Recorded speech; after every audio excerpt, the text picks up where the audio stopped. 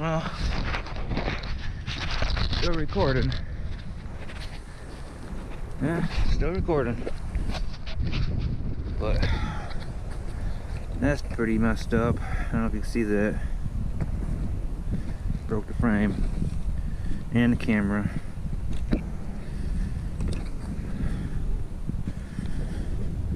Well, I have a new bottom plate, I think, I already at the house.